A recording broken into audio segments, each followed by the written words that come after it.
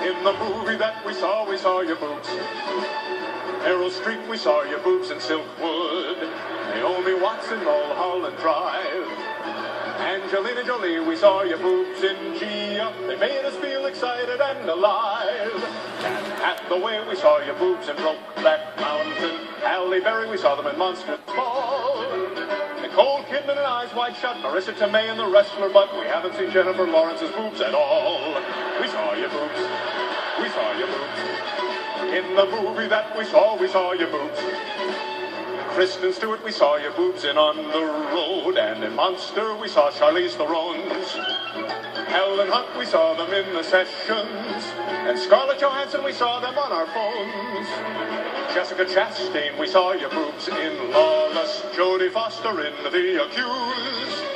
Hilary Swank in Boys Don't Cry, Penelope Cruz in Vanilla Sky, and Kate Winslet in Heavenly Creatures and Jude, and Hamlet, and Titanic, and Iris, and Little Children, and The Reader, and you're right now. We saw your boobs.